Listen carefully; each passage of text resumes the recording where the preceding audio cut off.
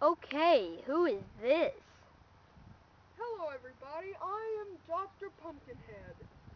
Dr. Pumpkinhead? Yeah, don't don't get me mixed up with that weird guy you see on uh, the Halloween movies. Halloween movies? I'll bring a gallon out. Okay, well, yeah, and some cones.